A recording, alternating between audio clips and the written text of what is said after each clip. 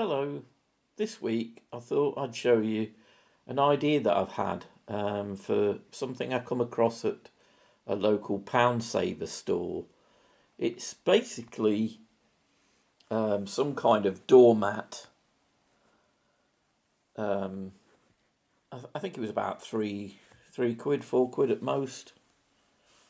But it's uh, rubber backed and it's very thin. But the thing that interested me was when I closed in on it, I'll see if I can show you.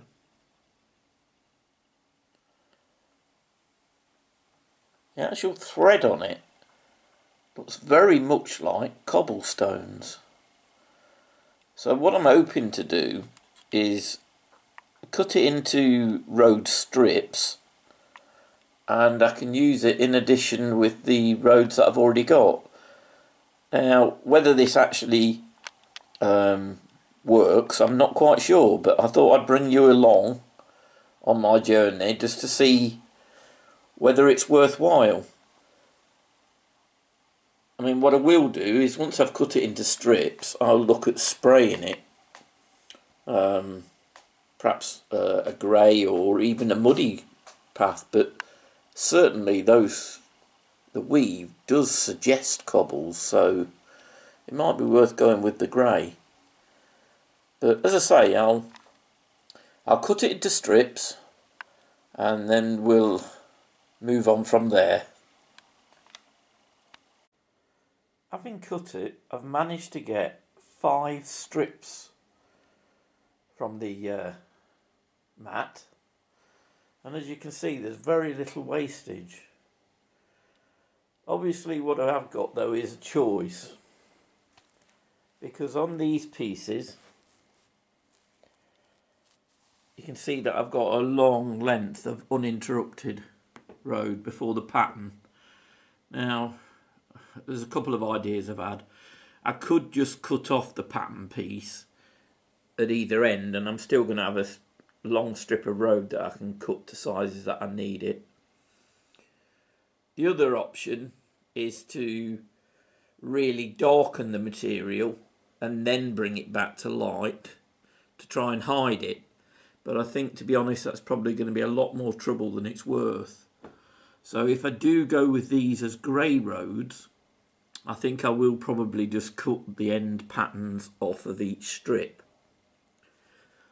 That said, I've ended up with two patterns down the side of the mat, uh, two strips that are down the side of the mat that are just entirely patterned. Now with this, um, I'm looking at two options really. I could make a decision to use this one as a muddy road and in which case I could then paint it with some brown paint mixed with Mod Podge and then add bits of grit into it to give it more of a, a earth road look and also completely hide that pattern.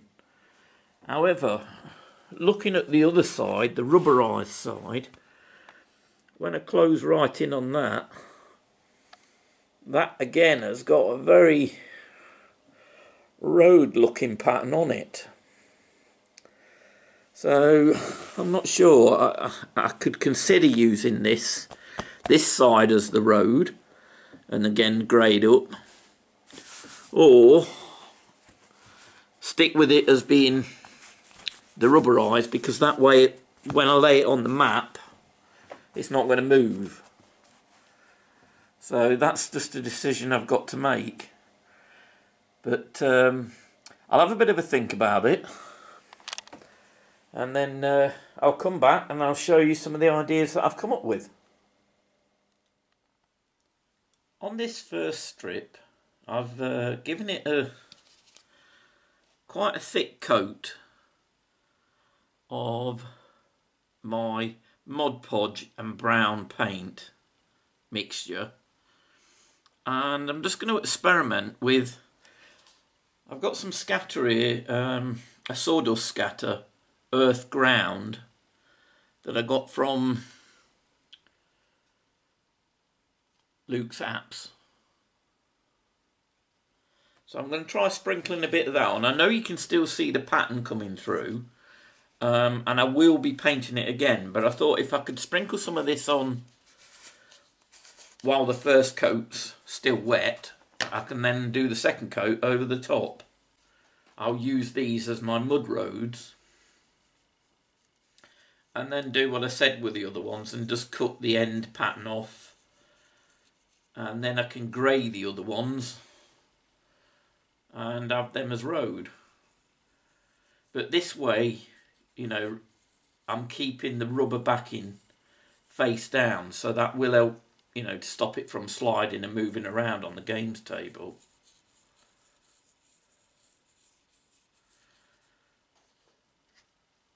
I'm only sprinkling a light layer of this. I will let it sit for a bit and then I'll tap and let it, you know, tap off any really loose and let it thoroughly dry before I give it the next coat.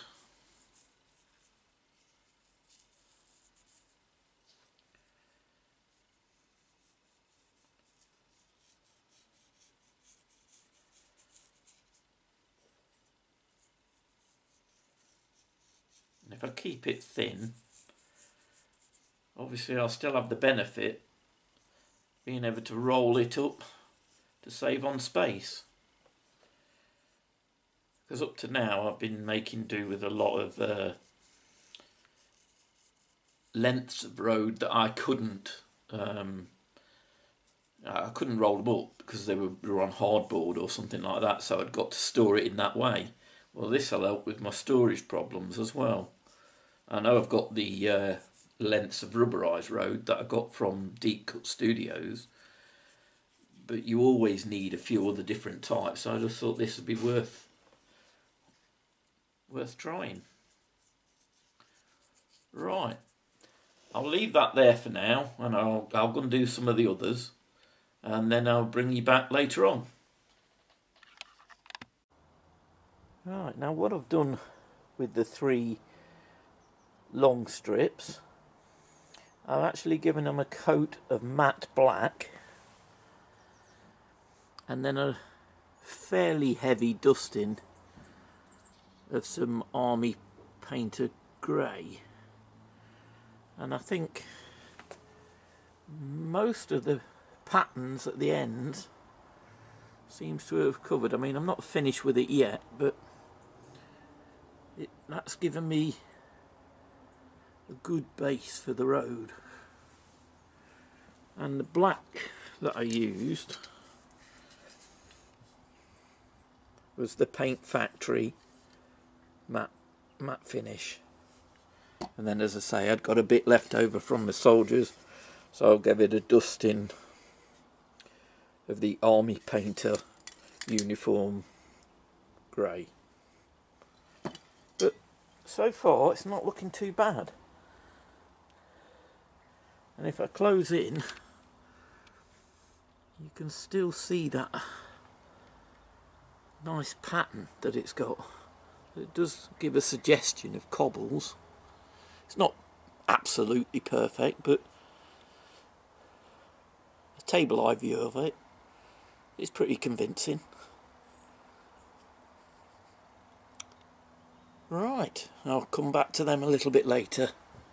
Right, if we take a look at the two that I sprinkled the soil on, what I've actually done is let that dry off and then I've given it a quick coat, quick spray of uh, sealant, PVA sealant and then uh, sprinkled a tiny bit more of the dust on it and then uh,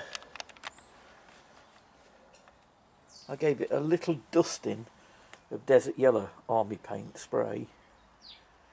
And now I'm going to set that to dry. And then we'll take another look at it.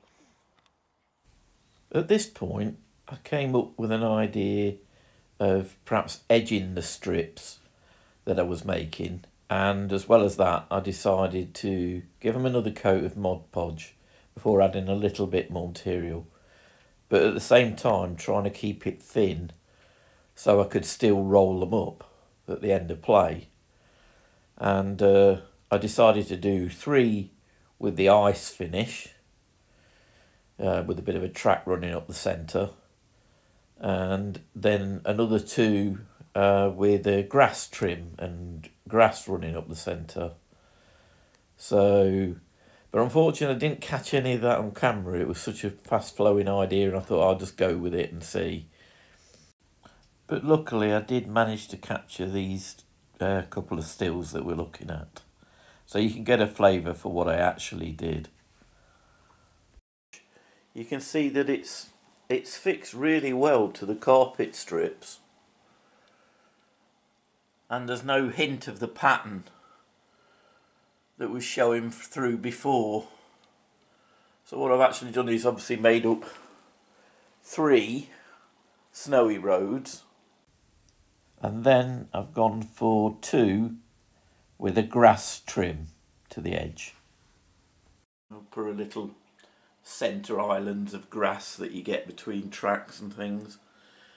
Now obviously I could put a lot more detail into this and put some tufts on the side. I may even just uh, give it some extra paint, uh, thin layers of paint on some of the muddy one just to give it a bit more of the look and maybe even on the on the snow roads but I don't want to add too many bulky details because one of the benefits of this quick and easy road is if I can pan back a little bit. If you bear with me I'm doing this one-handed.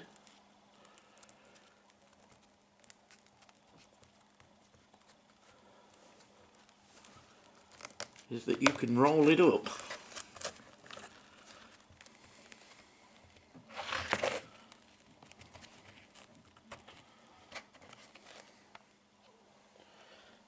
and there you have it so storage is brilliant no you know it's not going to take up a lot of space and with the non-slip surface on the back that we looked at it, it lies down on a mat really well, doesn't move around when you're playing with it. And then when you want it, you can just roll it back out.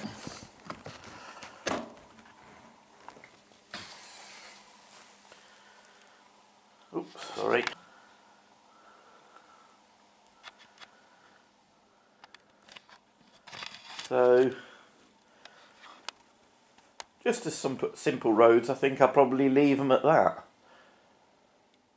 But as I say, it's it's down to personal choice and what space you've got. Yeah, if you if you wanted to add a few tufts and even static grass, it it could look a lot better, a lot more effective. But for me, the convenience of being able to roll it up and roll it away when I'm finished playing with it, it's ideal. Right, I'll just leave you with a few photographs uh, so you can have a closer look at the actual finish on the mats themselves.